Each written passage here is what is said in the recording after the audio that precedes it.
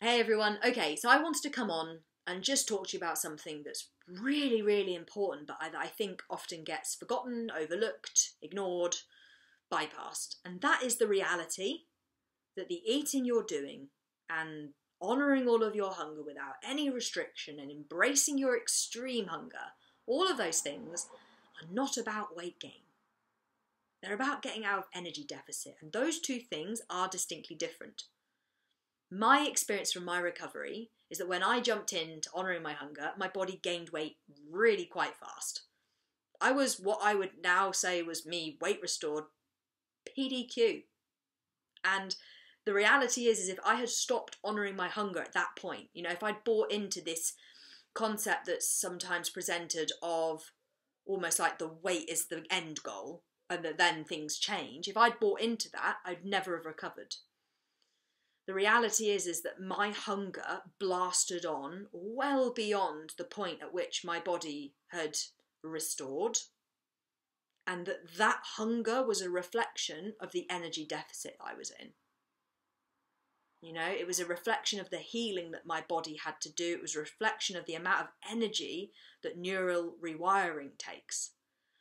Now, the reason I wanted to share this is because so often I know from my own experience and I know from talking to other people, so often that point of, but I've gained weight and my hunger is still so intense, or, but I've well surpassed the weight that my team said I should get to, or that I'm heavier than I've ever been, or that I'm well past the weight that I was before I had an eating disorder, or, or my clothes are fitting from before an eating disorder. Like, surely this is it, this is the end. My hunger should have died down by now.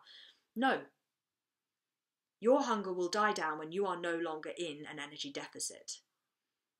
That is something which only your body knows. There is no other cue for when you are out of energy deficit than when your hunger starts to naturally decrease.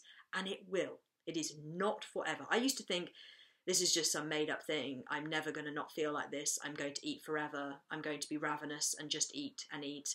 I'm gonna never be able to just go out for a meal and not have to go to a garage on the way home and eat half of the contents of the garage. Like I just thought, oh, this is it forever. Never going to change. I'm always going to be ravenous. I'm always going to be thinking about food. And not. I was in that state because I was in an energy deficit and because consequently my brain was like food, food, food, food, food. My hunger was right up here. My fullness was way down here. And my brain was like food for a reason. Now, as I said, if I had stopped honouring my hunger with complete abundance and without any restriction at the point where I was weight restored, I'd never have I'd, I'd never have gotten better. You know, I would literally never have gotten better. Not a chance in hell. I would still be, yes, at that higher weight, but I would still have been in an energy deficit, which meant that all of my all of my thought process would have still been exactly the same. My brain would still have been in that energy deprived state. My thoughts would still have been circling around food. My hunger would still have been right up there. Like all of those things would have carried on. And actually, the best thing I ever did was let go and embrace the fact that I wanted to be better more than I cared where my body might go kind of had to just trust in the process a bit, which is, I wish there was a way. I know Becky did a video about this ages ago where she spoke about, and I often signpost people to that one, where she spoke about weight gain. And she said, you know, I wish there was something that I could say that's going to make the weight gain part easier. But there isn't anything. The only thing that makes it easier is being in it and then continuing to do the recovery stuff in that size body and therefore showing your brain that actually it doesn't matter and living in it and doing it and being it.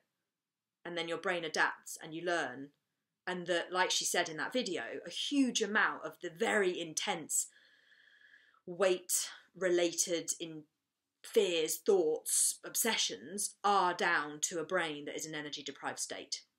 And actually, when you get out of that energy deprived state, the whole weight preoccupation and fear of weight gain also reduces you know. But basically, I'm going off on a tangent.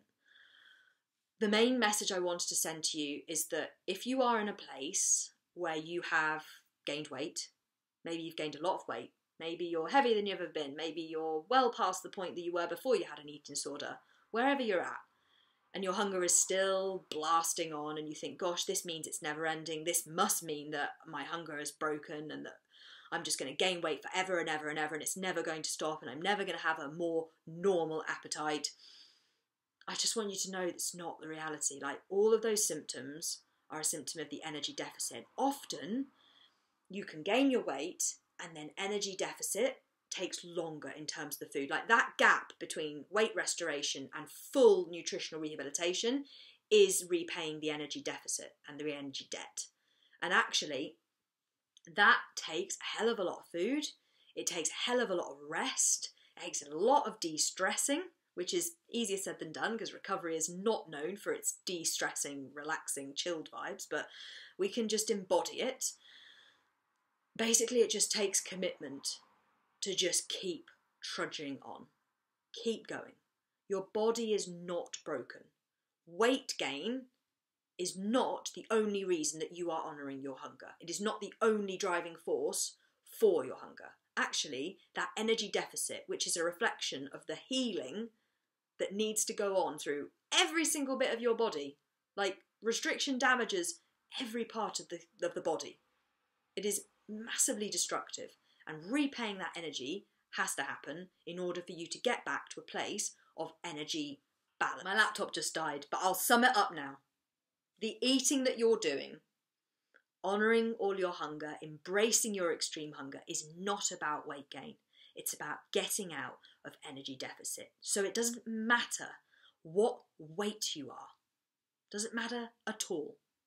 What matters is that you are honoring those cues, listening to your body, and doing what it asks you to do.